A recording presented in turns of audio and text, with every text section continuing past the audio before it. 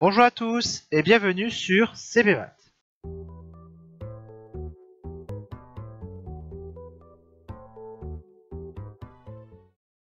Brevet des collèges, Nouvelle-Calédonie, session 2017. Exercice 4, coup de pêche. Dans cet exercice, toute trace de recherche, même incomplète ou non fructueuse, sera prise en compte dans l'évaluation. Les questions sont indépendantes. Salut Antoine, bonne idée d'aller à la pêche au coquillage ce matin. Salut Aurel, oui à la pêche au coquillage et aux poissons. Aurel, où va-t-on? Antoine, ici la croix sur la carte, c'est à 5 km. Aurel, super ton bateau. A-t-on assez d'essence? Antoine, oui sans problème, le réservoir est plein, j'ai 12 litres d'essence. Aurel, on navigue à quelle vitesse Antoine, dans la mangrove en moyenne 8 nœuds. Aurel, avec cette pêche, le bateau sera plus lourd. Antoine, oui, on devrait consommer un litre d'essence de plus qu'à l'aller. Question numéro 1.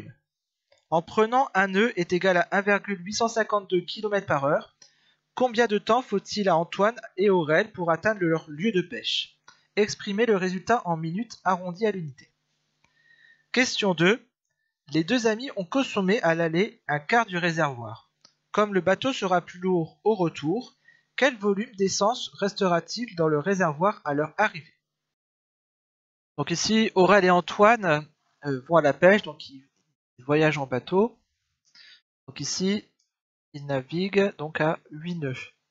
En prenant un nœud égal à 1,852 km par heure, combien de temps il faut-il pour euh, Antoine et Aurel pour atteindre leur lieu de pêche? Donc ici, un nœud, donc un nœud est égal à 1,852 km par heure. Donc ici, 8 nœuds, 8 nœuds, eh bien c'est égal à 8 fois 1,852. Donc on obtient 8 fois 1,852, on obtient 14,816. 14,816 km par heure.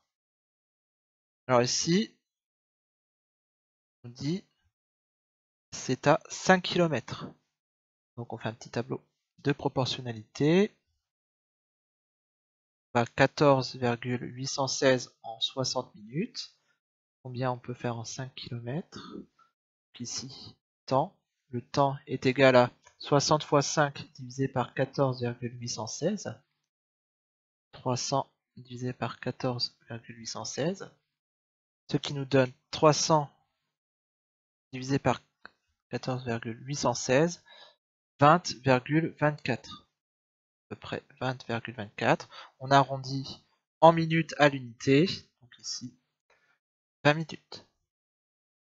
Donc, réponse. Antoine et Aurel mettront 20 minutes pour atteindre leur lieu de pêche en bateau. Alors les deux amis ont consommé à l'aller un quart du réservoir. à l'aller, consommer un quart du réservoir. Donc ici, le réservoir total, c'est 12 litres.